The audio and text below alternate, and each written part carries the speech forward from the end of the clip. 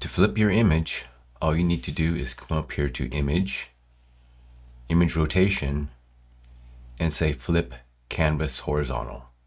You might also need to rotate your image. So coming down here to Image, Image Rotation, here we can rotate, in this case, 90 degrees counterclockwise.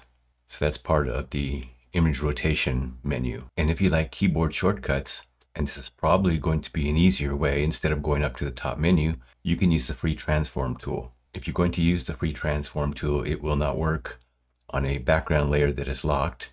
So I'm just going to duplicate this layer and say Command T. I am in free transform, right click, and I can come down here and say flip horizontal and then click the check mark at the top.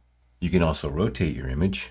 I say Command T, and if I put my cursor on any of the corners, you see there is a double-sided arrow, and I could rotate my image to any degree that I want. And of course, hit the check mark to commit. If you would like to just flip a layer, all you have to do is highlight your layer, hit Command T, right click, and say flip horizontal, the check mark at the top. And you can rotate it, Command T, put your cursor up on the top on one of the corners and rotate. Hit your checkbox.